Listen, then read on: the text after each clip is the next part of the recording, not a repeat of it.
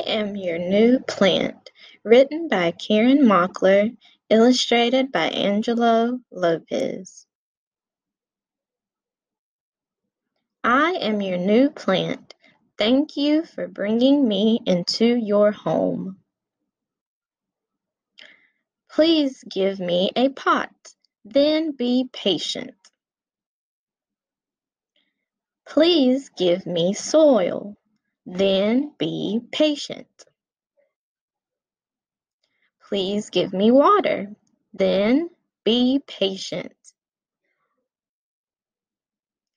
Please give me sunlight, then be patient. Please give me company, then be patient. Please give me attention, then be patient. Give me these things, and something will happen. I will not talk or sing. I will not do magic tricks. Be patient, and I will grow. The end.